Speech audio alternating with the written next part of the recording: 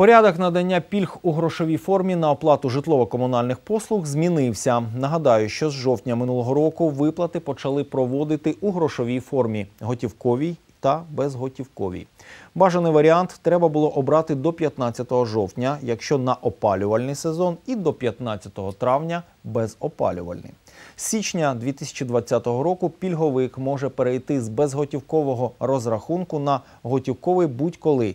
Так постановив Кабінет міністрів України 27 грудня 2019 року. Достатньо звернутися до управління соціального захисту населення за місцем нарахування пільг і написати заяву. В ній обов'язково зазначити реквізити своєї банківської картки, на яку щомісяця будуть надходити виплати. Якщо пільговику зручніше отримувати кошти одразу готівкою через Укрпошту, це треба вказати замість банківського рахунку.